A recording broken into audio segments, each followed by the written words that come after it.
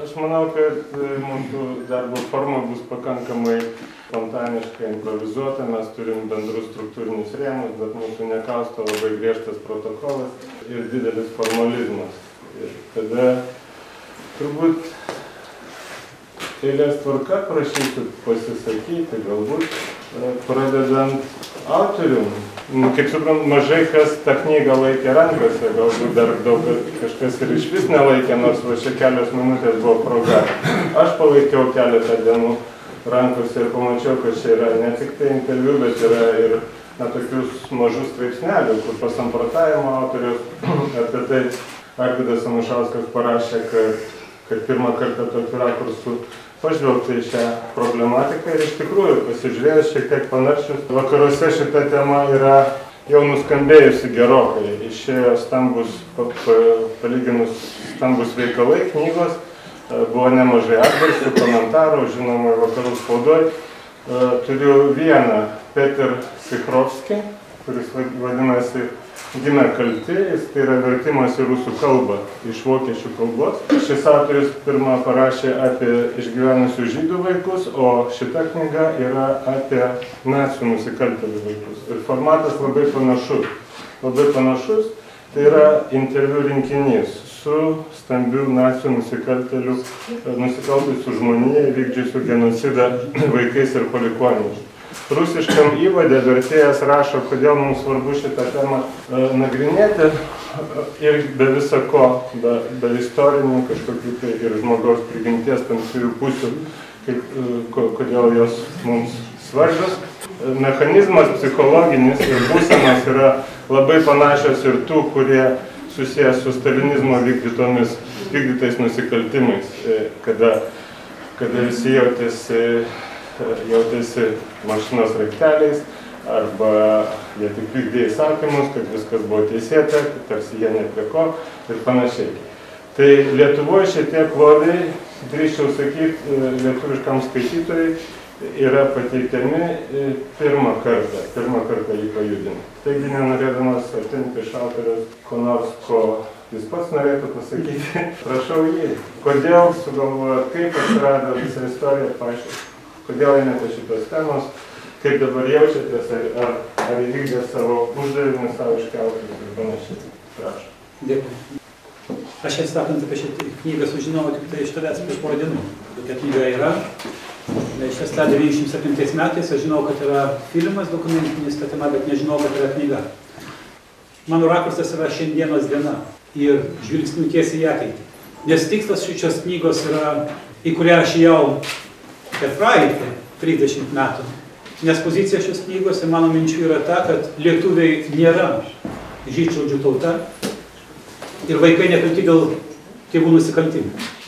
Pirmą kartą šią mintį išreiškiau 70 1979 metais Amerikos lietuvių spaudoje draugas, kurio aš teigiau, kad tą patį, kad mano draugai nėra žydšaudžiai, nes jie gimė po karo arba gimė karo metu ir jie nekalti dėl jiems metamų nusikaltimų. Jie nieko nežudė. Ir ta mintis gerokai vystėsi manyje ir kai aš grįžau į Lietuvą po 30 metų emigracijos Skandinavijoje, Švedijoje ir po pasaulį, kur holokausto tema buvo traktuojama, yra traktuojama jau nebe konfliktinėme kontekste. Drįščiau teikti.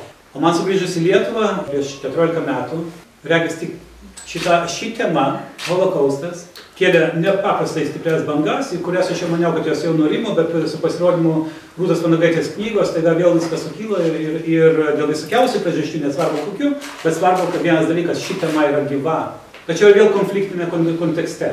Ašgi sakau, kad mūsų identitetas, mūsų visų Lietuvos piliečių, ar lietuvių, ar žydų, ar rusų, nesvarbu, tų, kurie gyveno čia per amžius, šiandien mes esame paleisti e, dviejų kataklizmų, tragiškų kataklizmų.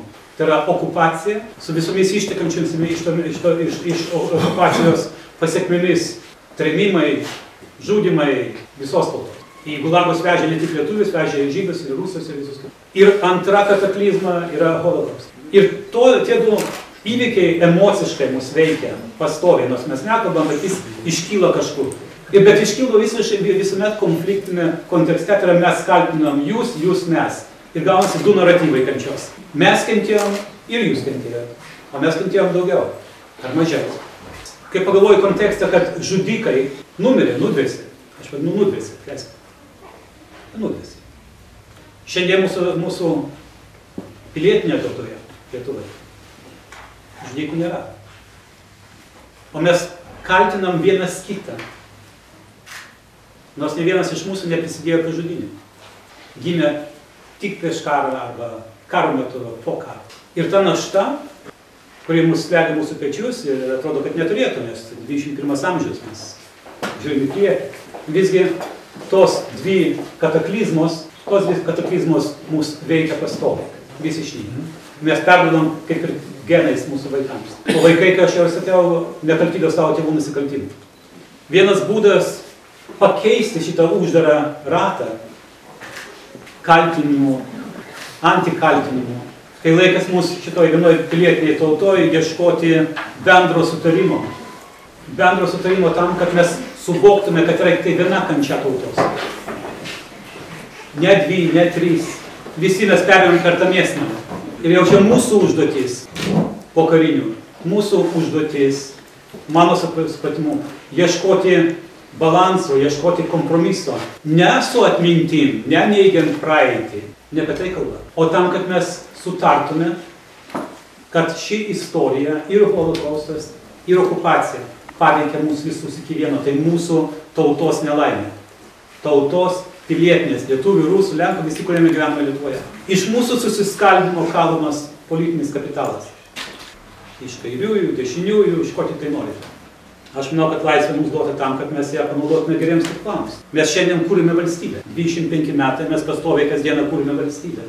Ir demokratinė valstybė, mažiausiai ko reikia demokratinė valstybė, tai susiskaldimas stereotipų pagrindų, susiskaldimas įkaltais, nepasitikėjimo vienas kitu. Ir todėl aš nusprendžiau pagaliau rašyti šią knygą, sudėliau savo mintis į knygą, kur per kampą, ten, kur mes galime sutarti. Nes vaikai, kai jeigu e, mes, aš galvoju apie, apie žydus, šiuo atveju esame genocido aukos, tai perėmė iš kartos į kartą, tas tai jau yra toks naratyvas psichologinis. Tai nusikaltėlių vaikai, mano supratimu, taip pat yra aukos, jiegi nežinojo, buvo vaikai, jie net nežinojo, kaip tėvai daro, ką jie padarė. Juk neteina tėvas namo ir sako, nu žinai, aš čia porą tūkstančių nužudžiau, čia porą tūkstančių žydų ar lietuvių, nesako ko, bet nusimėjau žmonių, paėmė ir nužudžiau. Nu, žinai, ką aš padariau. Nu, taip nebūna. Visame absurde ir nenormalume, tai aš nesu per tos pokalbius, su kuriais, aš e, turėjau, skausmingus pokalbius, ne vienas tėvas nepasako vaikam, kai sakykim, nužudė kažką. Tai mano supratimu, tie vaikai taip pat yra aukos sužinojo, ką darė jų tėvai, kuriuos jie mylėjo arba gerbė. Ir per šitą pokalbius, per, per ši, pasirinkęs šią temą, šį kampą, aš ieškau susikalbėjimo. Nes e, pastovus kaltinai neveda, nėra konstruktyvų, tai neveda į priekį. Tai mus priverčia vėl sėdėti arba to, toliau sėdėti savo getuose, kiekvienas savo getuose, kiekvienas savo apkasuose. Todėl tokia artybė.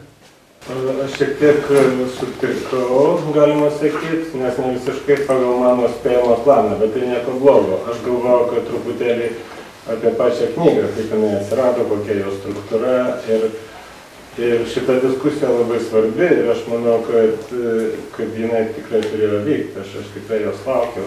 E, bet kaip mes darysim? Ar mes tada gilinsimės į šitą problemą, ką dabar formulavo Arkadijus, ar ar tiesiog šiek tiek grįžtant prie knygos ir tada galbūt e, Birutė Teresė pasakytų, jūs e, išleidot kartu, ne, nes gyventojų genocido rezistencijos centras yra leidėjas tos knygos, tai apie pačią idėją iš tiesų, kodėl įgimė. Ir manau, kad mes tikrai grįšim ar, prie to klausimo, ar mes tikrai sėdim getuose ir, ir kodėl taip yra, ką tai reiškia. Taip, tos knygos atsiradimas kaip sakyti, nėra kaip viltis, kad mes ją ėmėm ir išleidėm, bet aš manau, kad jinai tikrai yra reikalinga ir iš karto buvau tuo įsitikinusi, kai tą idėją Arkadijus man pareiškė. Lygtai ta idėja, kaip jis nusakė, kaip jis įsivaizduoja šitą knygą, man e, sudėjo tam tikrų mano tokių apmąstymų, kuriuos aš pati dar nesu atsakius, tokius kai kur taškus ant jų.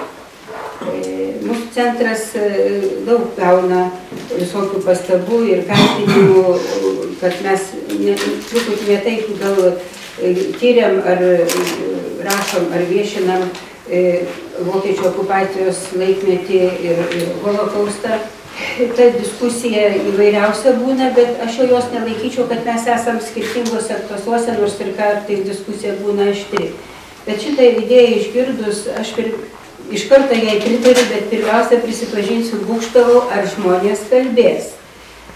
Aš esu buvusi kraštotyrininkė ir kaip tik esu e, Žagarės krašte, 73 atrodo buvo kompleksinė ekspedicija. Ten, aš ten pirmą kartą išgirdau iš vietinių gyventojų apie žudynės, apie žydų žudynės, kurios vyko tų žmonių, tada jau seniai nebėra, jie buvo, tada su kuriais mes šnekėdavom, buvo 70-80 metų. Tai vyko jų, galima sakyti, jiems būnant vidutinio amžiaus. Negirdėjau nei vieno pasakymo, kad jie to nusipelnė, kaip būdavo, pripažinkim, yra tokių pasakymų ir dėl tų kažkokių ekonominių santykių, dėl dar kažkokių. Ir arba sako, nu tai ką padarysi, vyko holokaustas, čia yra labai didelė nelaimė, bet ir deda kažkokį daugtaškį. Tai aš manau, kad va tokia knyga, ir tada taip įsivaizdavau iš karto, jinai nutrina tuos daugtaškius, o reikia kažkiek stumteli žmogų į apmąstymą to, kas vyko. Galų galę daugelis, aš esu nuo pat ištakų mūsų šito centro atsiradimo ir jo visos tos istorijos ir atsimenu kokiais 92 metais ar gal pirmais viešai pasakiau, tada būdavo tokie mitingėliai, kad reikia mums susiskaičiuoti patiems savo nusikaltėlius, ne tik tai sovietinius kolaborantus, bet ir nacijų kolaborantus. Nu tai aišku, aš tada buvau apšaukta komunistė ir visai kitaip, nes nepaprastai buvo vienas matymas, kad mes tik aukos. Bet ačiū Dievui, tie 20 keli metai tą jau privedė mažuma šitaip masto, aš čia gal truputį nukrypau.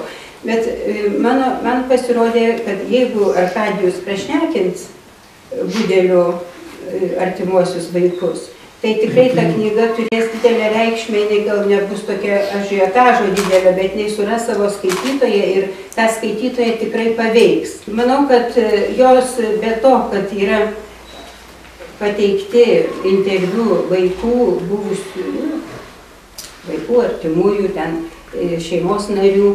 Ir iš karto daugeliu atveju jūs pamatysit, jie pirmą kartą išgirsta tą tikrąją žinę apie tai, kas buvo jų tėvai, kurie šeimoje taip netrodė, kaip neišsiskyrė nieko. Tai va šitą žinę kartu leidžia mums, jeigu mes ją priimam tokią, kaip ir, pavyzdžiui, tie, kurių nebuvo artimieji, tokie, kokie čia yra tų interviu, interviuotų žmonių. Bet vis tiek tas kalties jausmas yra. Ir kaip, jeigu mes tikrai, kaip pavadina kas nors šešiaučių tauta, skaudžiu tą išgirsti, bet kad mes turim prisijimti tam tikrą tokį, nu kaip pasakyti, skausmą. Tiesiog pasidalinti tuo, kas įvyko ir kad didelė, nu ne didelė ten skaičiai, mes tos vienokius turim, kiti oponentai mūsų kitokius tų dalyvavusių e, holokauste žudikų, bet, bet kad jie tikrai buvo ir kad tikrai didžiulį, didžiulę padarė didžiulį nusikaltimą, išnaikino vieną didžiulę visuomenės dalį, jos kultūrą, tiesiog neliko jos va šitas supratimas, kad neliktų, man atrodo, ta, ta knyga turėtų paveikti, kad neliktų tik akademiniam sluoksnį, tik susitikimuose, bet jinai kažkaip skleistųsi visuomenėje. Tai tada, man atrodo, ir Arkadijus, ir mes būsim visi laimingi, kad nors milimetrų padarėm tai, ką seniai reikėjo padaryti. Taigi ta knyga iš pradžių turėjo būti kitokia, bet įvadas, aš manau, kad ir Arkadijus keitėsi požiūris į tai, ką reikia parašyti įvadę. Jo buvo pirmas mąstymas, kad interviu nėra komentuojami. Jie yra pateikti tokie, kokie yra. ir, e, reiškia, tik tai tokią apžvalgą padarė e, įvadinėje dalyje. Gana buvo na, originalus, kaip neš, netinka tas žodis, toks sumanimas, kad vis tik tai įdėti ir gelbėtojus, kaip parodant, kad tuo metu vyko viskas paneigiant tą tokį, nežinau, kieno čia paleistą tokį mm, posakį, posakį labai skaudų irgi, kad e, didelė dalis lietuvių prisidėjo prie holokausto, labai maža dalis gelbėjo, o visa tauta tyliai pritarė. Tokia knyga tą paneigia, nes tie patys artimiausi žmonės, kurie sužino apie savo giminaičius, tą, tokį jų tokį, tokią kaltę, labai nedidelis procentas, labai nedidelis skaičius atsisako apie tai kalbėti, bet tai nebūtinai jie dengia tą, bet jie tiesiog, matyti, jiems toks smūgis yra moralinis, dvasinis, kad jie net negali apie tai kalbėti ir savo nuomonės pasakyti. Tai tiek galiu pasakyti, kad manyčiau, kad tokių knygų atsiras gal ir daugiau. Šiaip mūsų centras leidžia daugiau akademinio pobūdžio, dabar apie batalionus 26 policijos išeis tokia monografija, bet tokia knyga, kuri pagal mane turi paliesti, paliesti jautriausias tokias dvasinės, jautriausius kampelius, nes e, negali būti, e, kad ji nepaveiktų ir nepaveiktų e, ta kryptim, kuri, kurią autorius e, būtent ir numatė.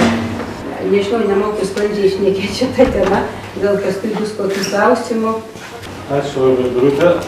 Na, būtų nuodėmė nepasinaudoti tokio, e, tokio specialisto kaip Alvydas e, išvalgo mintim per jo rankas, aš nežinau, turbūt gal daugiausiai praėjo panašaus pobūdžio knygų iš po jo plunksnos išėjo artimo pobūdžio knygų tyrinėjimų, jisai žinoma, kad gali palyginti ir įvertinti ir mes džiaugiamės, kad jisai sutiko tą padaryti. Nu, aš kalbėsiu kaip skaitytojas pirmiausia, nes aš nežinau, kiek čia perskaitė auditorija jau e, knygų, gal dar nespėjo ir įsigyti, bet aš e, spėjau perskaityti, dar nesigijau, bet spėjau perskaityti. E, iš tikrųjų, perskaičius, turiu pasakyti, metodiką praktiškai aš panaudojau. Šeimoje, kadangi mano tėvai buvo 3 metų, 7 metų, aš jų paklausiau, sakau, nu ko aš, pavyzdžiui, nežinau, bet jūs žinot, bet man nepasakoja. Pasakojimas šalia e, Budrimonių getų. Nu, kadangi 3 metų vaiko tokie prisiminimai labai minimalus, prisiminė tokio paties amžiaus e, mergaitę, kuri buvo apsirengusi E, visas suknelės, matyt, kurias turėjo ant savęs, tai buvo 41 e, metų vasara, spėjau, Liepos mėno. Buvo, aišku, nepaprastai matyti karštą, tai ji tam vaikui, tai yra mano tėvui, rodė savo suknelę. Sako, va, žiūrėk, kiek aš turiu jų daug, kaip man sako, gerai. Jis, aišku, nieko tenai nesuprato. Vėliau, čia jau matyti po laiko didesnio, e, vis dėlto karas vyko vis tiek kelis metus, trijų metų laikas, paskui šešių metų vaikas. Sako, pas mus kaimynai buvo e, tokia pačia pavardė, Mamertas Anušauskas liepė e, žydus matyti iš to paties Butrimonų geto pabėgusius. Du žydaitės, e, jau pavardžių neprisiminė, aš nežinau, ar tarp tų, kurie gelbėjo, yra ir tokia pavardė, Bet bet kokiu atveju, vat, įsivaizduokit, labai mažo amžiaus vaikas vis tiek turi tų prisiminimų.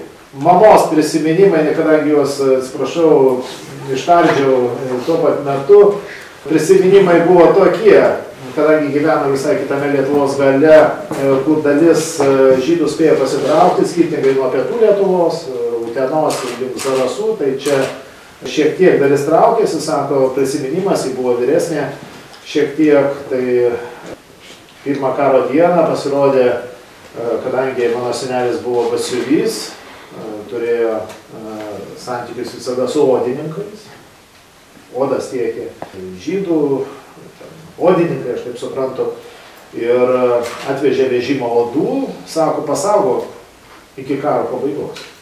Ir kartu sako, va čia košerinė karvė. Ir jie atvalė. Tu sako, tik atskirai, sako, kur nors, bet kokiu atveju pasirodo visą karą mano mama ganė tą karvę, tos odos buvo paslėptos, po karo grįžo, viską pasiėmė. Beje, e, jeigu kas galvoja netgi tą karvę, sakau, nu, tai vaikščio tom pakrūmėm, ten pamiškėjai su tą karvę, jo sako, nes buvo draudžiama turėti nesavus galvijus, viskas būdavo suskaičiuota. Jeigu tu tave išduotų, netgi kaimynai, jeigu pasakytų, kad kažkas tenai vyksta, tai šeimai, aišku, reikėjo, galėjo ten mokestinėm kažkokiam prievolėm atsirūkti ar dar ko nors. Bet va tiek vat, tų buvo labai nedidelių prisiminimų. Šiuo atveju mes kalbam apie kitus prisiminimus, tai yra apie žmonės, kurie irgi, matyt, buvo labai maži tuo metu, bet jiem, aišku, niekas nepasakojo tų dalykų. Nes aš tėvų irgi, sakysim, jeigu nebūčiau paklausęs, jie man irgi nebūtų papasakoję, nes jiems tai gal atrodė detalės jų gyvenimo gal ir svarbios detalės, bet jų gyvenimas nebūtinai jie turi viską išpasakoti. Turiu pasakyti, kad vėlgi perskaitęs knygą, matydamas, kaip tie žmonės, kai kurie atsiveria, kai kurie atvirkščiai matyt, užsiveria, toks yra, sakyčiau, toks būdintis išsireiškimas, ten, taigi, mes nieko nežinojom arba nu, Mes vertinom kaip tėvą, vertinom kaip senelį ar dar kokį nors artimąjį giminaitį. Jis mus mylėjo, mums buvo viskas gerai. Tai turiu pasakyti, kad man, pavyzdžiui, tyrinėjančia tam tikrus irgi psichologinius niuansus žmonės, kurie vykdė kažką tokio, kas dabar, pavyzdžiui, smerkia. Na, pavyzdžiui, pasinaudodamas tokiu pat pavyzdžiu, aš ne tai, kad išdrėsau, bet man tai buvo pagrindas paskambinti tiem žmonėm, rašant savo knygą, jų artimieji buvo kaltinami partizanų išdavysėmis. Jie dabar tai žino. Jie tai žino ir kokia jų reakcija. Turiu pasakyti, aš neturėjau tiek kantrybės kaip Arkadijus, dažnas vis dėlto, nesakau, kad visiškai nekalbėjo, bet vis tik tai dažniausiai atsisakydavo kalbėti, nes puikiai žino, čiagi ne, jie dažna, dažnas tų žmonių, kurie išdavinėjo, jie asmeniškai netgi nieko nežudė, bet tas psichologinės krūvis, kuris uždedamas, visada yra pakankamai stiprus ir čia žmonių pasiryžimas kalbėti apie savo artimuosius yra jiems patiems gana sudėtingas uždavinys ne kiekvienas jį geba išspręsti. Ir šiuo atveju tai yra dar sudėtingesnis uždavinys, nes kalbėti apie artimuosius, kurie darė nusikaltimus arba buvo šalia jų, yra žymiai sunkiau.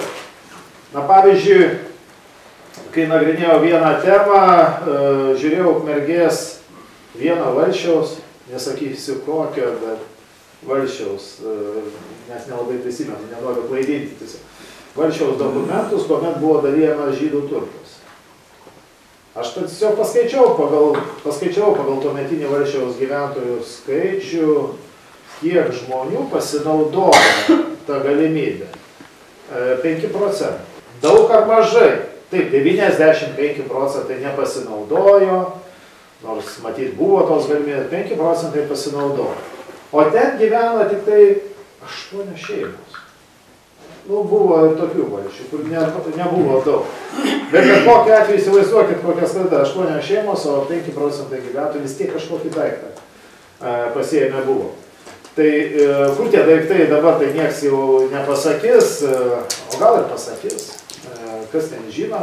Bet kokiu atveju ta e, tylinti aplinka, kuri supa dažnai tuos įvykius, tai e, nėra vien tik tai žmonės susiję vat, su nu, kažkokiais giminiais, tai su žudikais, yra ir kito pobūdžio e, žmonių, kurie galbūt iš spintos įsitrauktų kažkokį daiktą. Nesakau, gal ir neišsitrauktų, gal nebeturi, bet, bet kokiu atveju gal ir žinojo, o gal ir ne.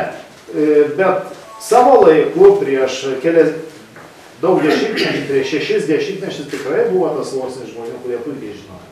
Kieno tie daiktai, iš kur jie yra kilę. Taip kad E, Kai kalbam apie e, tuos psichologinius portretus ir žmonių pasiryžimą kalbėti, tai aš vis dėlto siūlau, na, gal tų žmonių iš karto nepulti smerkti, jeigu jie atsisako kalbėti, e, tai nėra toks paprastas dalykas. Vedimas į tą kalbėjimo kelią, ką darė Arkadijus, yra pakankamai sudėtingas. Ir tai, kad va, tuos kelias dešimtis išvedė, kad gimė knyga, tuo pagrindu aš manyčiau, tai labai didelis darbas, galbūt neadekvatus tam, kas netgi atrodo taip sudėta į tokios apipties knygą. Ačiū labai. Na, man atrodo, kad žinomumas nuo nulio, žinomumas tokios holokausto, žydų e, išnykusios e, bendruomenės, istorijos, jisai sparčiai auga šiom dienom. Aš sprendžiu iš to, kaip augo mano karta, kuri nežinojo nieko absoliučiai.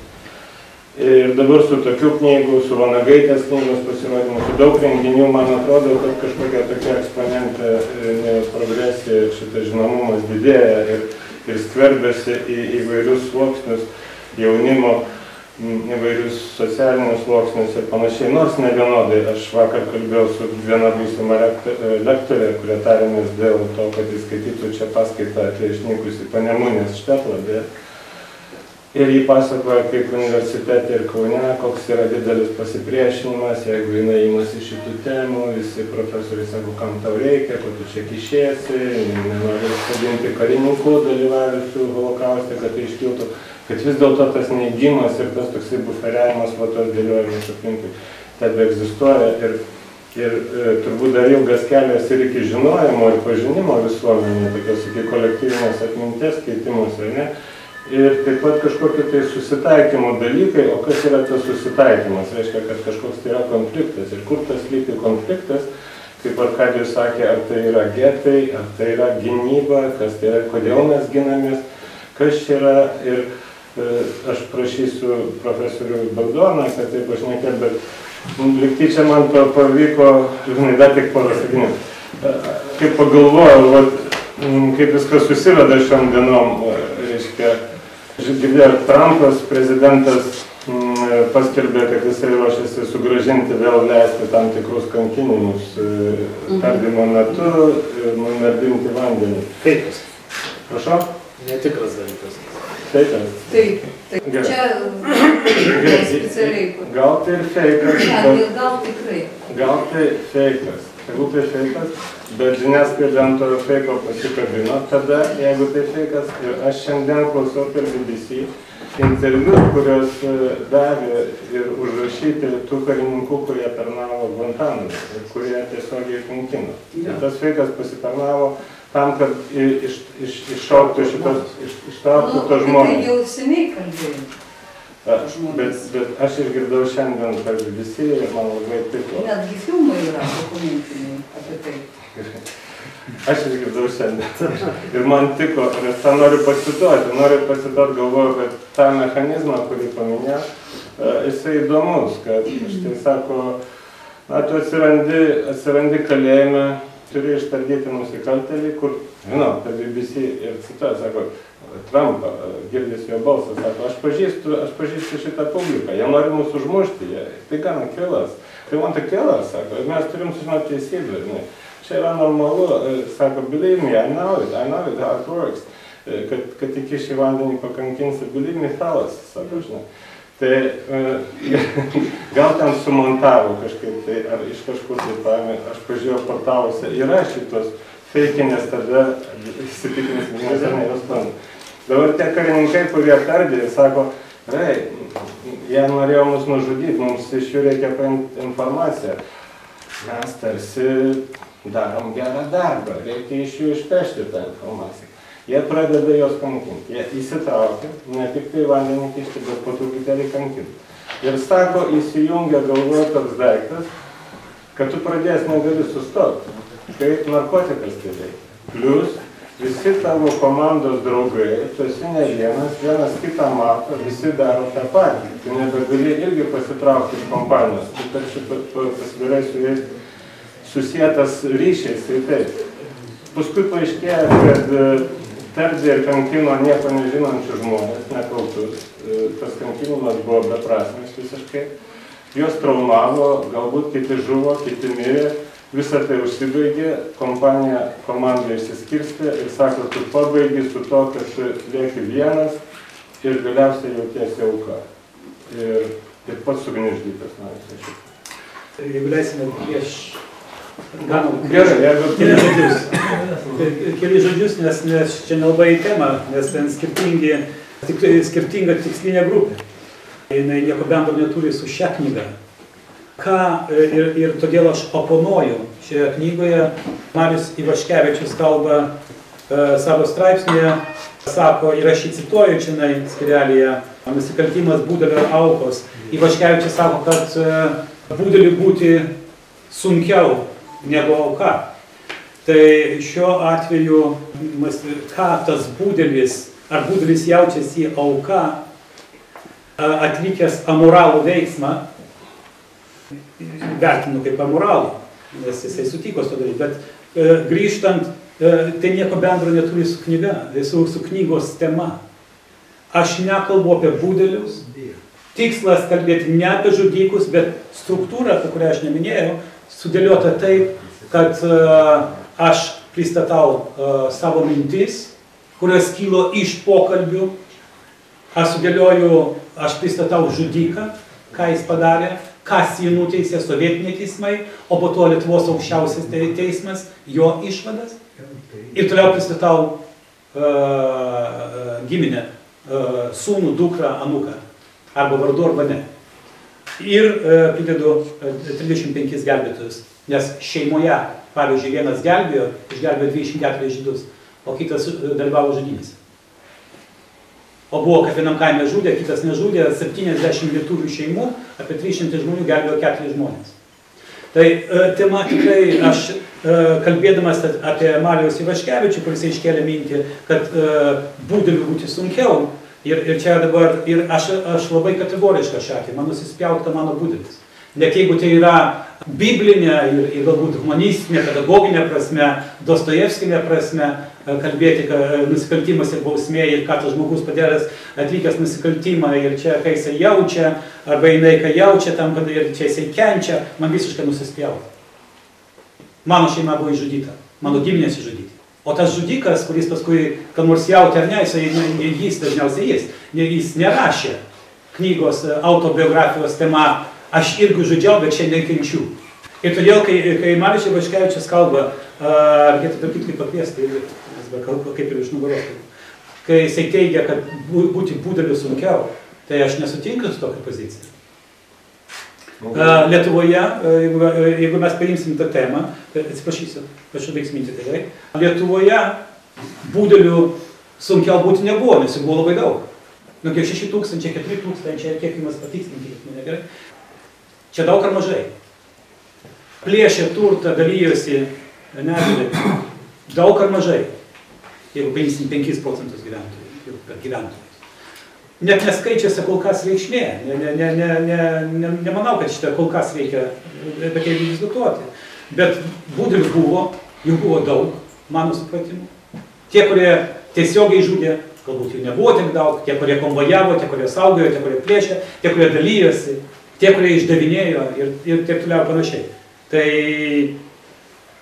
ir, ir antra, būdė, kalbėdamas apie būdelį ir nusikaltimą ir, ir, ir atsakomybę, Marius Vaškevičius pradžia taip pat savo straipsnę ne tik būdelius, e, reiškia jų savijautą, bet ir, ir kolektyvinę atsakomybę. Mano supratimu, vaikai, kurie nekalti dėl savo e, e, tėvų nusikaltimų, jie neturi už ką atsiprašyti.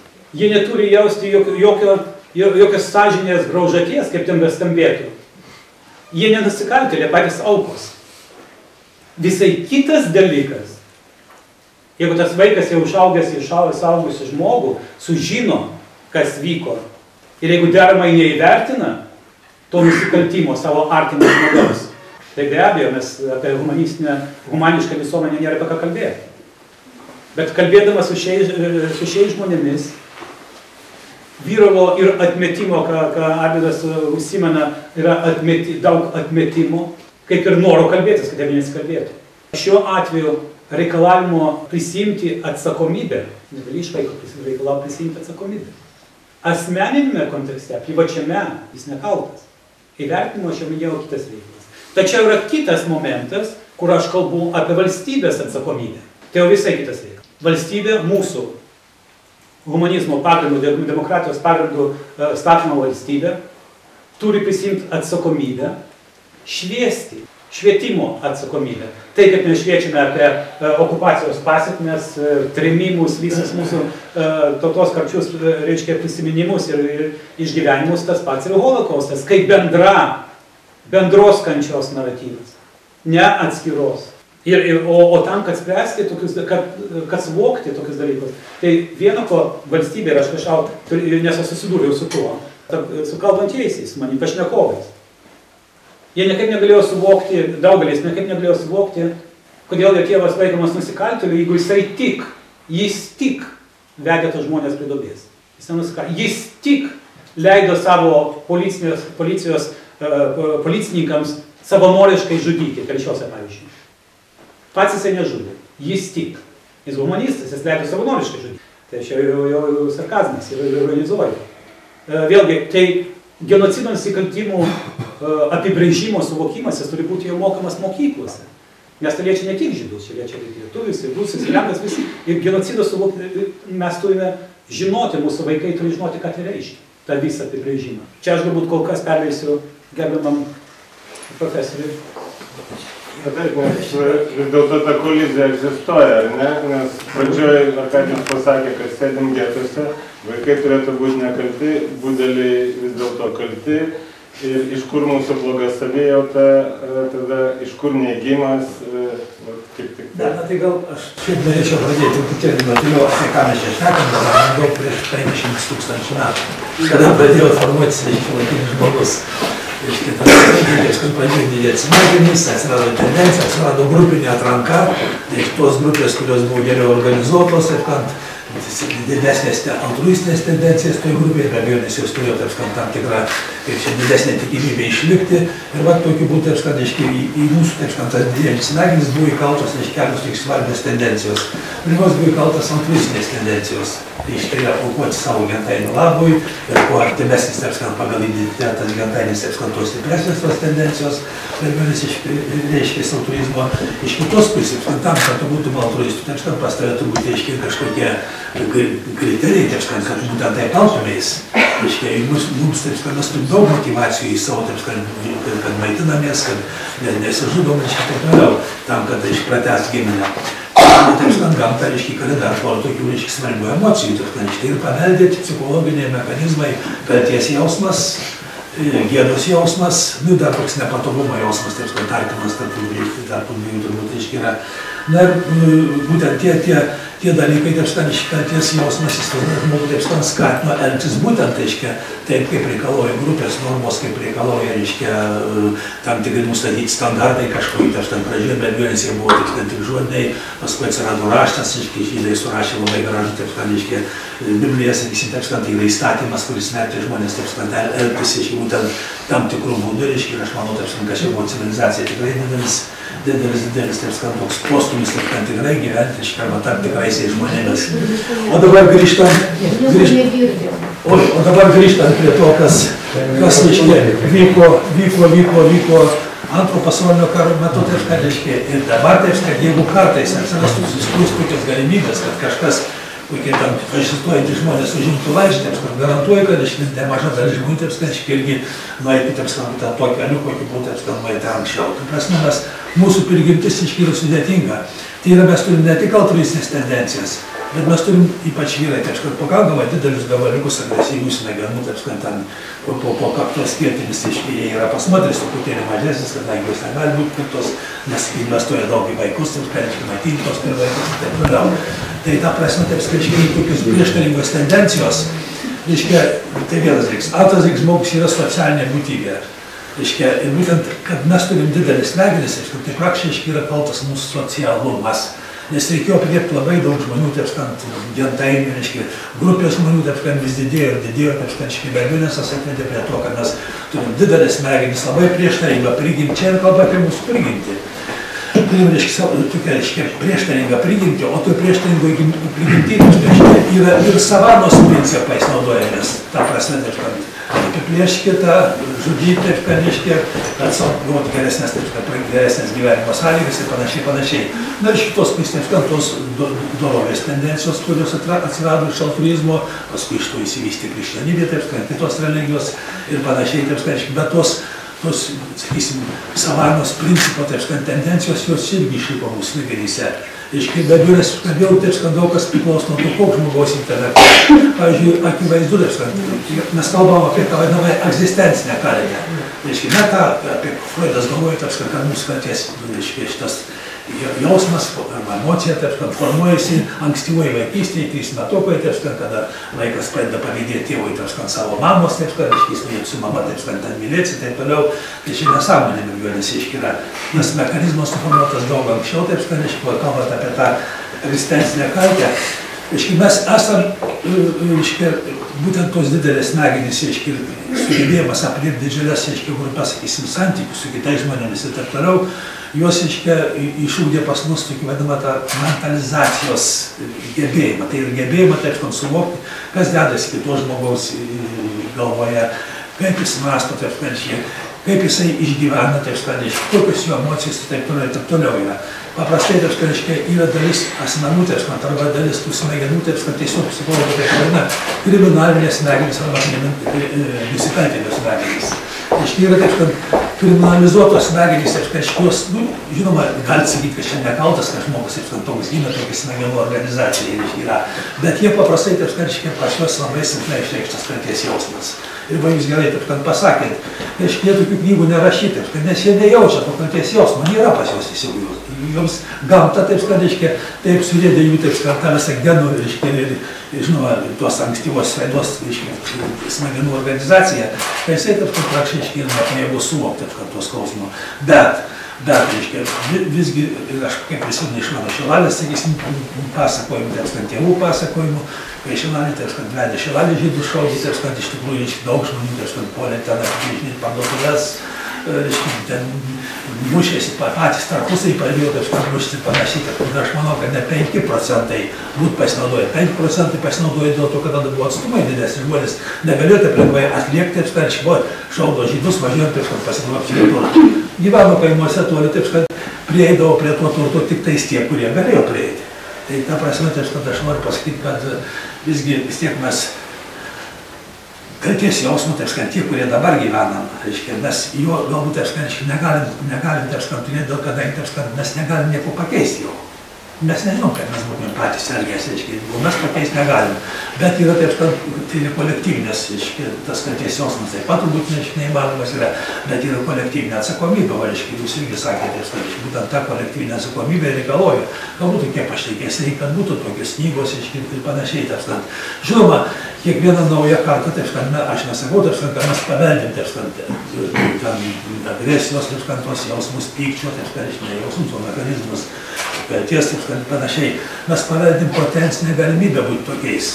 Vis tiek, taip sakant, mūsų tėvai, mano tėvai, taip sakant, jie labiau buvo orientavosi į savanos principą negu mes, kadangi mes kiekvieni naujai, taip sakant, augdami, bręsdami, taip sakant, gydami savo smegenis, galų bet, taip sakant, mes perimam, taip sakant, naujus kultūros pasiekimus ir, sakysim, dabartiniai vaikai, taip sakant, be abejonės, kad jie į savo smegenis įkalba daug kitokių tendencijų, kurios užduos, taip sakant, tos ilgaidai, taip sakant, tokius gamtos, aiškiai, sutvarkytus psichologinius mechanizmus ar gamtos paruoštus. Tiksliau, gamta pas mus, aiškiai, yra paruošta, sakant, visokiems atvejams. Vaikas gimęs iškiai žino daug daugiau, taip kad, sakysim, kalbos garsų suvokia, negu, negu kad paskui saugęs žmogus. Kadangi ta kalba, kurią mes įsimenam, jinai užaštrina, kad mūsų smegenys būtent tuos garsus, tą struktūrą gramatinę ir panašiai, taip kad, kurią mes girdim. Lygiai tas pats, reiškia, yra su, su, su muzika, arba ten, sakysim, su, su, su, su vaizdais, reiškia, su matymu, reiškia, taip toliau, taip toliau. Dėl ko mums, reiškia, čia europiečiams, reiškia, mūsų veidai, taip sakant, atrodo tokie skirtingi, tuo tarp, kai Azija, reiškia, Azijos gyventojai, taip sakant, jie atrodo visi panašus. Dėl to, kad, reiškia, vėlgi, taip sakant, gimęs kūdikis, jis netgi daug daugiau, taip reiškia, visokios, taip sakant, beždžionės emocijų išaiškų mato, negu, sakysim, reiškia, vėliau, taip sakant, reiškia, jau suaugęs žmogus, taip sakant, mes vėl, taip sakant, užraštinam savo regėjimą į tas, į, į tokius veidus, taip kad, o taip pat į tas vertybės. O kadangi vertybių, taip kad, reiškia, istorija visų kopia naujų, taip kad, žmogaus teisų plėtra ir panašiai, panašiai, tai aš manau, taip kad, kad galbūt iš pirmais, gal taip fatališkai pasakiau, kad reiškia būtų panašus dalykai.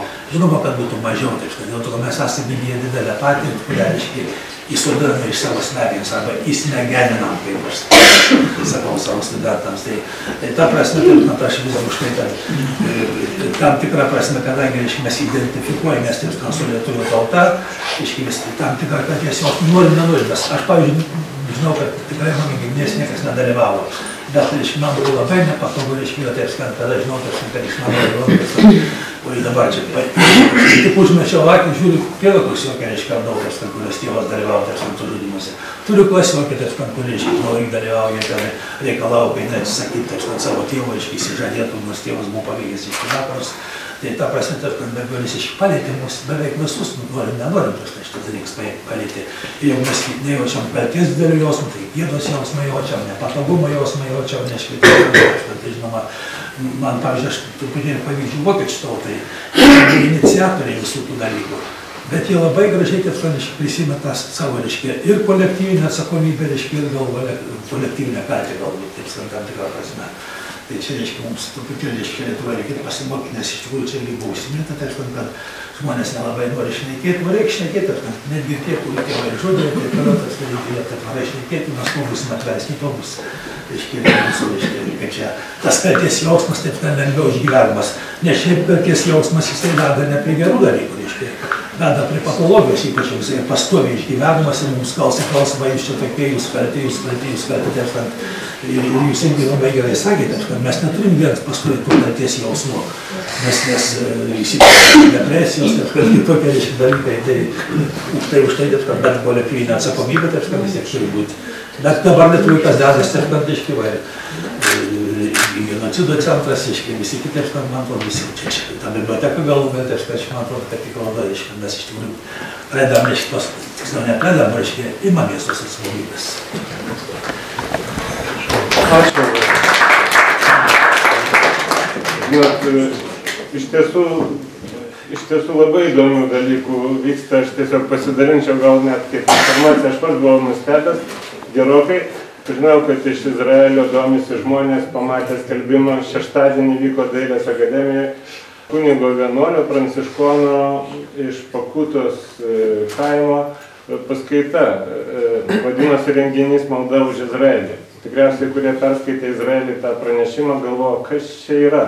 Pradėjo, pradėjo klausti, nu, kurio kampu ten melsis už, už tą Izraelį. Žinai. Ir tada aš paskambinau tam vienuoliui, Gedaminui Numgaudžiui, ir jisai pasiūlė pasižiūrėti jo įrašytą paskaitą gruodžio 17 dieną Vytauto didžiojo universitete, kur aš pirmą kartą girdėjau iš, na, sakytum, tikro, autentiško katalikų bažnyčios atstovo vienuolio, taip įvardinant šitą dalyką, taip tiesiai, kad vis dėlto jisai, na, neteisiškai ir net ne psichologiškai ir psichologistiškai tą žiūri, bet jisai žiūri iš tokios teologinės, moralinės pusės, su tokiu transcendentiniu supratimu, kad tai yra mūsų kaltė, kad kad lietuviai, krikščioniai tauta turi atsiprašyti, kad jie kol šito nepadarys, kad, nu, supaprastinant, grubiai sakant, Dievas mūsų nemylės.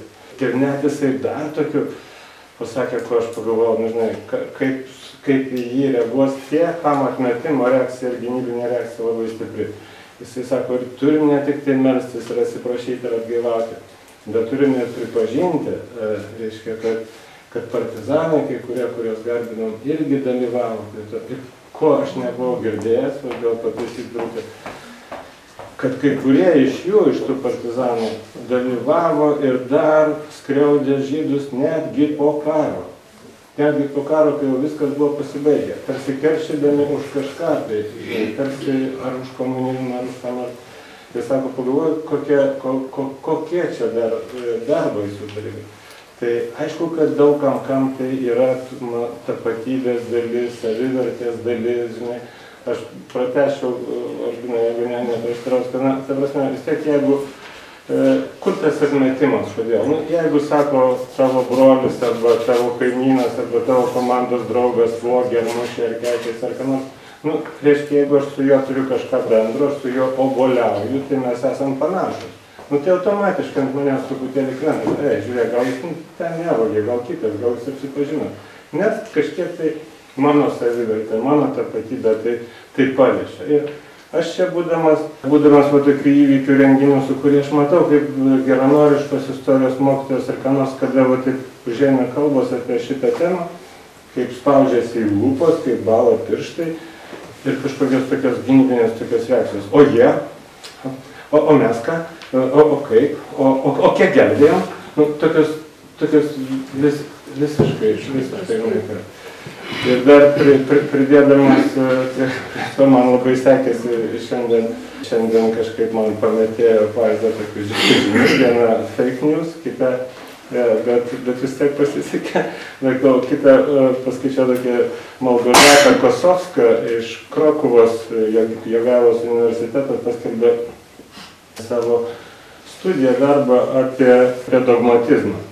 Jinai tyrinėjo dogmatizmą. Ir Ir tai, kad dogmatiški žmonės, kurie su autoritariniu mąstymu, kurie labai gerai žino savo tiesas, kurie yra kategoriški, tokie egocentriški ir taip toliau, jie labai linkia į prietarus ir linkia stigmatizuoti kitaip galvojančius, kitaip mąstančius. O iš ko, iš, kas, kas, kas, pa, kas pažeis jų, jų, taip sakant, tapatybės komfortą.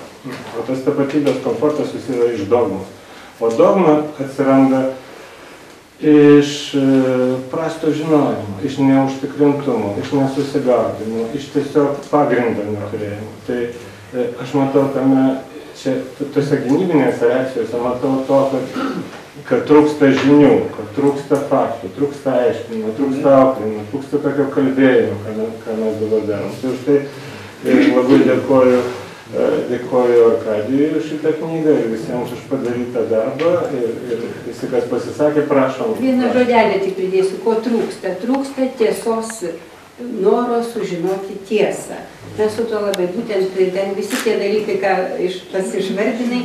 Ir aš susiduriu su būtent tuo, kad aš lyg ir žino kažką, o daugiau, ten giliau, plačiau sužinot Nereikia. Nereikia. Tiesiog nereikia žinoti. Tai va šitas man yra labai sunkiai paaiškinama tokia savybė. Tos dogmas. Mumyse slypi labai, kaip čia didelė kalties baimė, taip sakant. Žmonės bijo būti apkaltinti, bet ko taip sakant. Nes kalties, taip sakant, tai yra, jeigu tu kaltas, jau tai būdavo. Bet tai yra nesaugumo jausmas. Dėl tai, tai vadinama, as, kada žmogus, tu paklausė, ar jis dalyvavo, taip sakant, žinojo ir panašiai, netgi kadangi tai yra asocijuotoji kaltė. Yra tikroji kaltė, taip sakant, kad aš nusikaltau padariau, taip sakant, nedorai. Bet ir taip sakant, dar asocijuota kaltė, taip sakant, kada tave gali priskirti prie nusikaltusių, kadangi, taip sakant, tu kažkaip tai susijęs su tuo. Ir žmonės to labai bijo. Šiuo atveju aš manau, kad mes kalbame dabar apie kolektyvinę ir asmeninę atsakomybę, tai tema matyti ir šios knygoje apie tai aš kalbu. Visgi aš būdamas žydų kilmės ir įtakotas judaizmo, mūsų kultūroje yra atsiprašymo diena. Mūsų kultūroje per Jom Kipūrą atsiprašymo dieną aš atsiprašau už save, už savo šeimą ir už savo tautą. Ir tai, tai reiškia šį, šis, ši moralinė nuostata, jinai mumise yra. Ir, ir galbūt mes šiek tiek kitaip suprantame. Gal drąsesnį atsiprašyti. Lietuvos istorija kaip valstybės čia reikia eiti giliau į šaknys, kai, kai iki 1863 metų žmonės buvo vergais, ne? kita kultūra ir, ir baimė, ta pastovi diktatūros, taip, sąlygomis baimė, įsišokti, geriau patilėti ir visą šitą labai stipriai, ypač man gyvenausim daug metų užsienį Skandinavijoje, man šitas matosi. Ir labai įdomiai sureagavo į šitą mano pokalbį mano kolega žurnalistas Vytautas Brugeris. Jis labai puikiai pasakė, sako, apie, apskritai kalbėdamas apie turinį šios knygos, sakė, apskritai tokia psichologinė autoterapija pas mus dar nebūtas dalykas. Žinoma, jei žmonės iš ties nori gydytis. Ir, ir šie žmonės, negalvodami apie gydymą, bet aš, žinot, e, man regis, e, tai subjektivu, tai aš pasakysiu dabar, bet manau, kad vaidmenį suvaidino tai, kad aš esu žydų kilmės. Aš, aš nežinau, aš teisus. Bet uh, E, kai aš sakau, e, e, prieš pokalbį buvo labai svarbu pasakyti, kokiu tikslu aš skambinu, arba kokiu tikslu aš noriu susitikti su tuo žmogum. Ir žinoma, aš pasakau mano idėją knygos ir ko aš sėkiu. Ir, ir, ir aš pasakydavau, kad aš žydų kilmės. Dažnas, matyti, jau žiūriu televizorių, klausosi radijos, tai jau mane daug maž jau žinojau. Gal taip palengvė, bet, bet kita vertus, aš sakydavau, kad mano tikslas nekaltinti jūs, neprikaištauti jums nes jūs tokios pačios aukos kaip ir mes, tėvai. Ant jūsų tėvų, ant jūsų pečių uždėjo nepaprastą moralinę naštą. Ir e, šie žmonės vis dėlto savyje surado tokios asmeninės drąsos. Kai kurie nenorėjo uh, vardų uh, afišuoti. Jie tam turėjo pilną teisę. Kiti drąsiai sakė, nes aš noriu, kad visi žinotų. Šioje knygoje kalbama apie tai. Ir šie žmonės, tai 30, 34 žmonės parodė, net ir tie, kurie atsisakinėdavo, čia yra porė, kurie atsisakė kalbėti. Bet nes jautė kažką tokio, ja? kad ne kažkas ne taip, bet tie kalbėti norėjo. Ir tai vėlgi dažniausiai tai buvo jau, jau pagyvenę žmonės, buvo jauniausiam gal kokie 55 metai, tiem jau nuo 55 iki 90. Ar galima padaryti kažkokią skirtį, matuojant atvirumą tarp vyresnės ir jaunesnės? Ne. Matot, jeigu kalbam apie anuką, tačiau tolimesnis, tolimesnė giminė, taip sakant, jeigu dar ten senelio, ten brolio, sunus, tenai, sunienas, tai kiek kitoks kalbėjimas.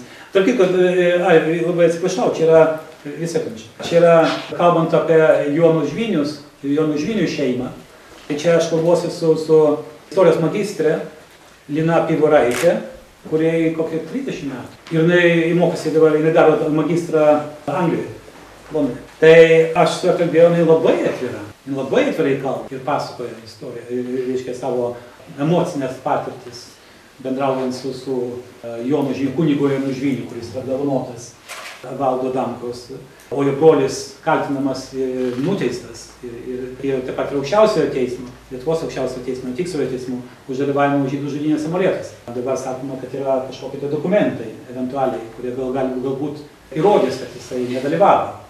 Bet aš pasižiūrėjau, ten trūksta keturių dienų įrodymų. Bet, bet, bet čia tiesiog jo, bet, nu, dar, teismo reikalas. Jo, čia teismo reikalas. Ir kol jisai nuteistas, yra nuteistas. Reiškia. Ir, ir dabar, vėlgi, ir, ir ta jauna moteris, ir, ir, ir kalba labai aiškiai, labai uh, su, sudėliojusi labai, savo moralinės nuostatas, be jokios abejonės. Vėlgi, jeigu mes pakelime, čia, čia įdomi tema, bet vėl apie amžių. Kalbėjau su vienu veterinarijos profesoriumi, Kublicku ponu, jam 90 metų. Žinot, kai kalbėjai su 85, 86, 90 metų žmogum, aš nori, nenori turėjau jausti ir spręsti, ar tas žmogus, aš nenoriu išgauti, kad jis yra adekvatus vis dar. Ar mintis šviesios. Nes buvo, kad šviesios mintis, bet aš jau jaučiu, žmogus serga, jau, jau, jau tikrai ir, ir, ir, ir nežinau, kiek jisai, nors pati tema be galo įdomi ir, ir, ir, ir, ir nuostatos, Bet aš tokį, aš padėkodavau tokiam žmogui labai, ir, bet pasakojimų nedėdavau. Nes, nes kartuoju, aš kalbu su žmonėmis, kurie nėra nusikaltėliai. Ir tai aš žodžiu didžiausią pagarbą jų, jų, jų, jų integralumui, neperžengiant ribos. Taigi, bet šiuo atveju, gerbiamas profesorius Kublickas, be galo šviesus žmogus. Ir jisai paklausė, kaip ten, aš pokalbis čia pasakotas. Ir jisai sako, na negali būti, kad mano tėvas taip elgėsi. Bet galiausiai pasakė, bet jeigu jis taip elgėsi, Tai ir jis tada sako, tada taip negalima elgtis. Nesuprantu šito, šito negalima elgtis. Ir nesvarbu, ar jis tavo tėvas ar kitas. Čia yra sudėliota. Net ir tie, kurie nenorėjo vardais, yra tokių dalys, kurie nenorėjo pasirodyti vardais, nes pavyzdžiui, vienas brolis ir sesuo, jų tėvas mirė 20, e, po tėvo mirties, praėjus 20 metų jie sužinojo, ką jis išdarinėjo. Zagavo žudynės. Ir jiems tai buvo didžiausias siaubas. Ir aš jiems, kaip tik e, jie sužinojome, kad jau taip matyti taip e, ištiko, kad aš paskambinau kaip tik tuo metu, kai jie sužinojo. Jie kreipėsi, matyti, dėl kažkokio dalyko. Dėl, O kaip jie sužinojo? Jie kreipėsi, ir ne vienas iš čia kalbančiųjų kreipėsi į teismą, sužinojo, kad jų tėvas yra dereabilituotas, jiems panaikintam tėvui, kuriam kadaise grįžusiam iš katorgos, iš, iš, iš Gulago, buvo 1989 metais aukščiausiasis teismas reabilitavo visus nuteistosius sovietinio teismo įsiustus į katorgas. Nors ten buvo, tarp kitko, viena išlyga dėl tie, kurie dalyvavo žudynėse, genocidiniuose nusikaltimuose, bet tuo metu realiai niekas nekreipė dėmesio.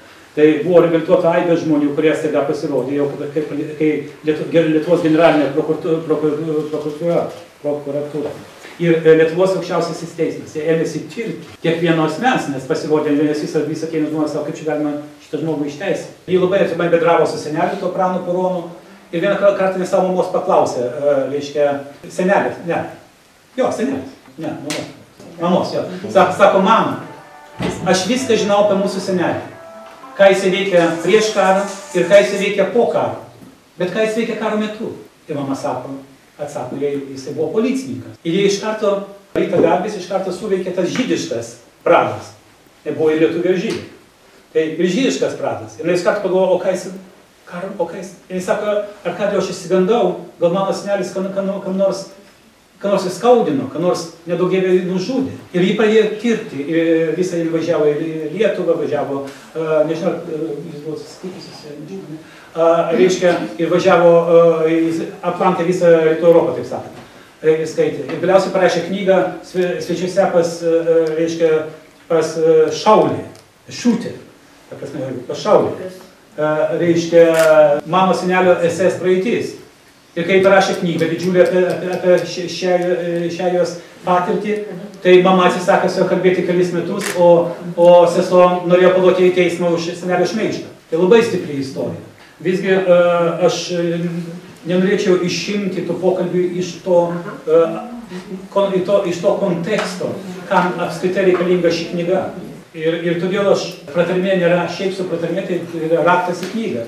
Nes pratarmė atsispindi pašnekovo mintis, baimės, norus, viltis, jų problematika, valstybės atsakomybė, asmens atsakomybė, nes visa tai iškylo iš pokalbio. Man buvo svarbu ne pačiam primesti temą. Aš atspindėjau jų mintis, jų žinojimą ar nežinojimą. Ir, ir, ir jo knyga tapo tokia, kaip jūs pasakėte, pradžioje aš atėjau su vienu, o baigėsi su kitu. Aš prieš porą metų aptikau labai, labai įdomų rašytoją. Jozefas Markevičius rašo apie Julius, Julius Borisovich Margolį. Jums gal rašytos beveik nežinomas, bet jis iškilus rašytojas, filosofas, sionistas, Izraelio, taip sakant, kurėjas, ilgametis, ilgametis Gulago kalinys. Ir, ir jį rašo Jozefas Maskevičius, kad jis parašė gražiausias knygos emigracijos po karo metais. Iš visų emigravusių iš Lietuvos žmonių jis parašė vien, vieni iš gražiausių knygų. Jis rašo apie, taip sakant, kad jis buvo gulagį, taip toliau. Mackevičius taip pat nemažai kalba apie žydus, jis parašė daug mini, bet yra du tokie esėjai ar pasakojimai, viena vadinasi Ponari bazą ir antrą Vilniaus getą. Ir žinot, iš tų jų e, rašinių, ypatingai iš e, Margolino, taip sakant, jis aiškiai sako, kad sovietai sunaikino visą kartą žydų prieš karo metais Stalino laikais. Tiesiog ten buvo toks pat teroras, kaip praktiškai ir, ir pas Hitlerį, žydų sionistų atžvilgiu. Taip sakant, Ir, ir vienas ir kitas, nors žinojo visus šitus įvykius, buvo gyvais liudytojais, bet jie, taip sakant, kitaip stato akcentus, kad okupantai organizavo šitus žudymus. Okupantai organizavo šitus žudymus.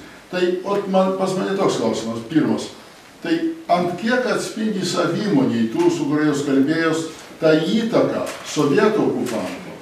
Todėl, kad aš netikiu, kad sovietai pasitraukė 41 metais Lietuvos tarnybos liko ir jie įtakoja tą gyvenimą. Dabar galima anūkų netapti. Ir aišku, antras okupantas, Hitlerininkai. Ant kiek jie įtakoja? Antrą įtaką, kokią turėjo visgi laikinoji vyriausybė. Kodėl aš klausiu dėl laikinos vyriausybės? E, praeitais metais e, Seime buvo konferencija skirta holokaustą. Ir tai konferencijos, kaip kalbėjo, ilgai kalbėjo istorikas Argymantas Kasperavičius. Jis pasakojo, kad šita valstybė buvo antižydiškai nusiteikę, kad, kad įtakoja ir taip toliau. Ir žinot, jis kalbėjo, kalbėjo, abaigė labai įdomiai. Klausimų, ar šita vyriausybė atstovavo Lietuvos tautai, ar ji buvo legitimi. Paklausė, pas ką paklausė, nežinau, ir padėkoja atsisėdė.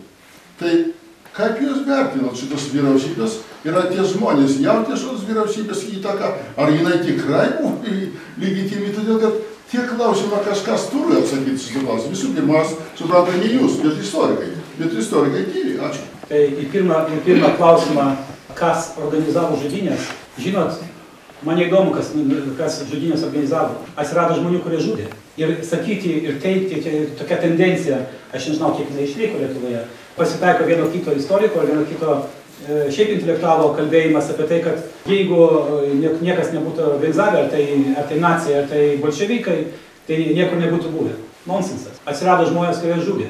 Tai jie turi prisijimti atsakomybę. Asmeniškai. Tai, tai, tai, ir, ir, ir neatmetant, kad taip, buvo sudarytos sąlygos, kalbos ne. Bet, o į antrą klausimą, tai mes turim čia ir ekspertus, ir Vidmantą Valiušaitį, kuri, kuris kartais su juo nesutinku, bet jis yra ekspertas laikinosios vyriausybės ir, ir, ir, ir Arvidas Anišauskas, kokį, kokį vaidmenį jie vaidino, ar jie buvo pronaciški, ar buvo prolietuviški, ar buvo antisemitiniai, ar jie kiekvienas atskirai buvo moralus, bet kartu paėmus tapo šunsnukiais. Reiškia, vėlgi mes žiūrime, galime žiūrėti per asmeninę prizmę, ar galime žiūrėti, spręsti apie žmogų iš jo darbų. Mano supratimu, laikinoji vyriausybė inkorporė aiškina, kad, kad reikia žydus uždaryti į getą, aš manau, kad yra nusikaltimas. Kai skiriamas Jonas Noreika ir kiti organizuoti getams, ir, ir šiauliuose paskirti, pavyzdžiui, tai, tai taip pat yra antihumanistinis veiksmas, mano supratimu. Vėlgi, kalbėjau, kalbant apie Škirpą, kiek jisai dalyvavo tais metais. Bet čia, vėlgi, čia, jeigu norėtų Vidmantas pasisakyti, mes jau diskutavom, ar Arvidas, bet čia ne šios knygos, ne šios knygos tema. Bet, prašom. O įsigys, yra? Įsigyti tai va, negeros. Šiaip tai aš neskaičiau tavo knygų, žinai. Čia yra problema, nes jos nėra dar Lietuvoje. Jo, tai aš sakau, na. Bet mano yra toksai pasiūlymas, kad antra dalis tavo iš tos knygos būtų apie sovietinius nusikaltimus. Kas sovietai padarė Lietuvoje, kas sovietai padarė aplamai. Tai atsakymas yra toks. Jo, ir aš labai norėčiau, kad tu tokią knygą parašytum irgi su pavardėm. Kas dalyvavo įvairiausiose pogrindžiuose, kas e, Lietuvos nepriklausomą valstybę žlugdė iki karo.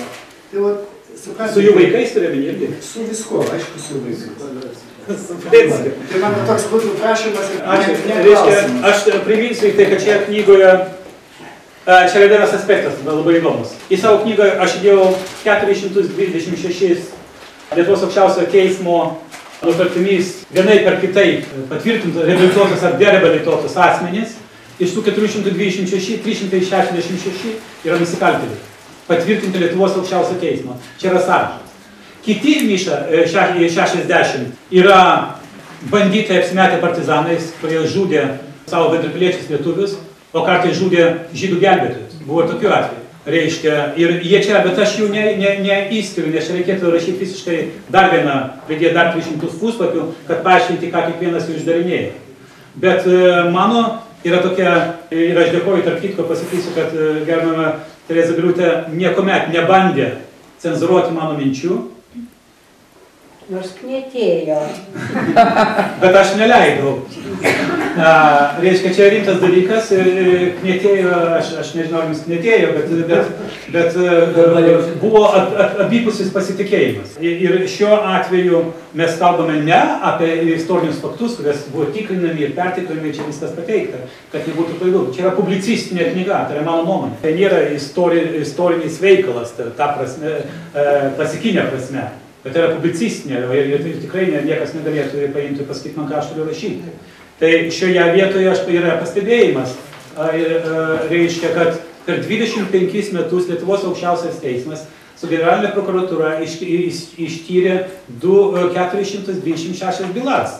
O tai reikės dar, ir aš prašiau, tiesą sakant, reikės tau dar šimtą metų, gerbama Bilutė, kad, kad, tai bus, bus ištirta dar porą tūkstančių bylų, jeigu tokiu tempais mes, mes darysim. Gintaras Šidlauskas, bendradarbis jūsų komisijos, pasakė, ir aš jį čia cituoju, pasakė labai protingą dalyką, sako, reikia Lietuvoje šiandien, reikalinga atskirti arba paskirti atskirą e, generalinės prokuratūros buvo toks atstovą ir teismą, kur, kur teisėjai žino, ko jie užsijama, o ne dėl kažkokio tai metų yra, reiškia, išlyga, e, jeigu uh, generalinė prokuratūra nesikreipia metus, laik, metus, reiškia, metus laiko dėl vieno asmens, kurie mano, kad yra ten žudikas, metai praėjo ir, ir Lietuvos aukščiausias teismas išteisino žudiką.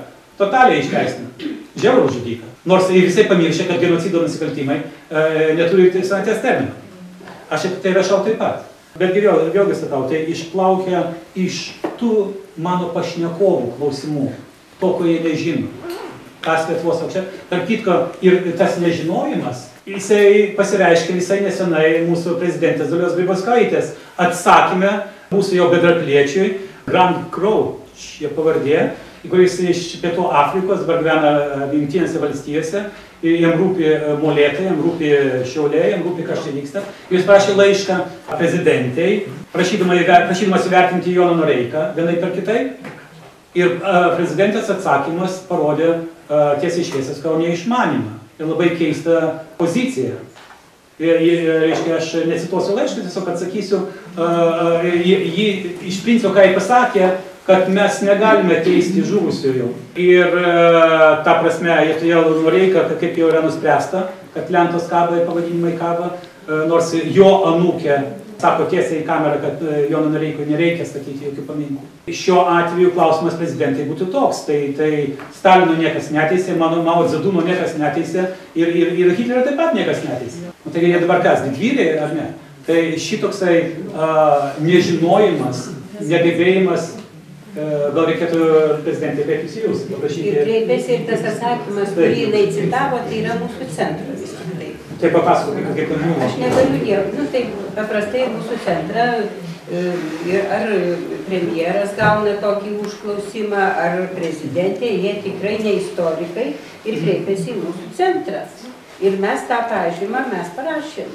Mūsų e, tyrinėtojai, jie parašė, kuo, tai nebuvo kaip sakyt, mes padavėm istorinius faktus be vertinimo, ką jis kaltas, holokausto dalyvis, ar ne, tiesiog sudėta ten yra faktai, kurie, ne, ne jinai pati, ta, tai yra mūsų dokumentas, centro.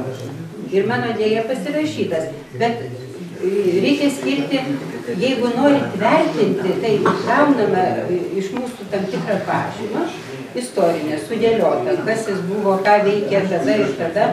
Tai ten yra sakinys, kad e, jeigu tai buvo administracijos, e, e, dirbo kaip administratorius ir tuo metu vyko jo ten nurodymais, kurie galbūt ne jo sugalvoti, o nutransliuoti iš aukštesnės valdžios, jis tą tam tikro holokausto procese jisai dalyvavo ir tas yra pažymojama. O kad negalim jo teisti, jo teisti tikrai nėra už ką. Bet įmamasi vis dėlto Lietuvos aukščiausias teismas įmasi, įmasi akivaizdžiai savo spręsti, ar ta žmogus, dėl kurio kreipiasi jo vaikai. Aukščiausias teismas įmasi vis dėlto spręsti, ar ta žmogus... Taip, jeigu tai yra byla, kur yra įvardinti nusikaltimai, ar buvo ar nebuvo jisai ten, yra liudininkų parodymai. Teismas, aš nenoriu čia daug laiko žimti, nauja byla nekeliama, o keliama byla, ar jisai teisėtai gavo, buvo reabilituotas. Bet toks klausimas, ne tai, kad jis yra nuteisiamas ar nenuteisiamas, ar jisai teisėtai buvo reabilituotas. Tai tokiu klausimu mes kreipėmės į prokuratūrą kai mes renkam medžiagą ir kad suteikt kario savanorio laisvės kovų dalyvio statusą. Ir gaunam įvairius. Tai Noreikos, Noreika buvo administratorius, tokių veiksmų joks teismas nevertina. Aš nenoriu užgniaužti šito klausimo, bet, tai mes nukreiptam į detalės. Galiu dar e, du klausimus trumpus leisti užduoti ir mes turėsim vis dėlto baigti, o paskui galima likti neformaliai padadrauti su knygas leidėjais. Prašom. Na, jeigu klausimų nėra, tada žodžio prašo Emanuelis. Ja, norėčiau, e, Birutė, norėčiau padėmėti. Ja, aš, žinoma, žinau tą visą procesą, iš arti pačiau, kai buvo kūrima šita knyga. Galima dėmesio trūkti, ačiū. Arkadijui šiandieną, kad Arkadijui galima būtų padėkoti už visą jo gyvenimą, ypatingai už tai, kaip jis padėjo Lietuvos valstybę įsikurti Švedijoje, Stokholme. Praėjo keli dešimtmečiai, tau niekas nepasakė ačiū už tavo darbą Lietuvos valstybėje, kad tu įkūrė informacinį centrą, už Lietuvos nepriklausomybę 89-90 metais, 91. Čia tavo buvo didžiulis indėlis e, Švedijoje, Stokholme, būtent tavo, dirbant, e, tavo protestas, Arkadijos protestas. Aš norėjau vieną, kadangi mes, nu taip, čia tokia korupcija, mes draugėsime e, su Arkadijum, tai galiu porą detalių atskleisti. 85 metais berots per vaidinimą. Įsivaizduojat, per vaidinimą a, a, rusų... A, Kintais? 88 metais. Jis išėjo į karališkąją teatrą, būdamas aktorius, išėjo švediškai su švedišku užrašu apie e, politinius kalinius e, Rusijoje ir su reikalavimu Baltijos atkurti Baltijos valstybių nepriklausomybę. Tai buvo žmogus, kuris vienas konfrontavo visą savo gyvenimą ir jo gyvenimas dabar blikstelėjo Birutė padedant šioje knygoje. Birutė, ačiū tau labai, kad tu apginiai nuo įtakų šitą knygą. Ačiū Arvidui parašysiam nedidelį, bet reikšmingą labai jautrų įvadą. Ir neįtikėtina Arkadijaus sugebėjimą prakalbinti. Reikia įsivaizduoti, įsivaizduoti, ką reiškia prakalbinti. Prakalbinti anuką, kuris šiaip tai šeimoje turėtų būti įprotis tik tai gerai apie senelį galvoti. Arba, nu, senelį, taip. Apie tėvą, kai kada tėvą. Ir jo prakalbinimai, kurie video, aš mačiau ir video įrašus prakalbinimų, sugryčiantis, kaip žmonės pradeda kalbėti ir pradeda įvertinti. Ir Arkadijos būdas įeiti į jų šeimą ir nekaltinti, bet prašyti pradėti kalbėti buvo didžiulis dalykas. Ir šita knyga turi milžinišką m, tokį, milžinišką vertę kaip žmogiškumo, sudėtingo žmogiškumo įsteigimas tose šeimose, kuriuose turi tokį siaubingą palikimą, kaip tėvus galimus žudikus arba senelius galimus žudikus. Čia yra neįtikėtina Dostojevskio lygio, Dostojevskio lygio tema. Tai yra Lietuvoje, ko gero, tai vienas iš nedaugelio dalykų, kur Lietuva kokiu tai kompu netgi nu, nebūtinai apėjo Vokietiją. Vokietijoje Anas Frank dienoraštis kiekvienoje mokykloje yra, bet dešimtmečius ten yra rašytojai, kurie perėmė stafetę. Pas mus yra tik tai va tokie istorikai, puikus Arvidas Anušauskas, kiti istorikai, kurie sugebėjo išleisti daugybę tomų apie holokaustą, apie tikrovę baisę, bet menininkai tik tai pradėjo perimti tą estafetę. E, e, labai ačiū, kad atlaikė visus įmanomus spaudimus, Birutė ir knyga išėjo tikrai nepajudinti taip, kaip Arkadijus sakė, tai yra lobis. Aš manau, didelis lobis, tai yra jokių būdų ne konkurencija poniai Vanagaitė, jokių būdų tai nebuvo iš to išėję, tai buvo išėję senų planų, Arkadijus man labai senai kalbėjo apie tai. Ir Birutė, man atrodo, seniai planavo tos knygos išleidimą, tai nebuvo atsakas į kažkokią tai laikiną iššūkį. E, e, tai, kad aš tikrai be galo dėkingas, aš nežinau, kadangi mes bičiuliai esame ir gyvenau gyvenau pas, pas Arkadijų Stokholme. Ne, ne, turiu galvoje, padarėm akciją, kad aš pasikeičiau, nes ten buvo, mes buvome paskelbę badą, kada sausio mėnesį užpuolė. E, tai dabar aš ironiškai parodžiau, kad aš nuo to laiko šiek tiek pakeičiau savo būseną. Tai žodžiu, aš dėkingas Arkadijui labai ir už visą jo gyvenimą. Tai čia proga pasakyti Arkadijui tau dėkui, ačiū visiems, kurie jam padėjo. Ačiū. Ačiū bibliotekai paskui. Ačiū. Ačiū visiems labai. Gali dar pasilikti, pa, pa, pakalbėti.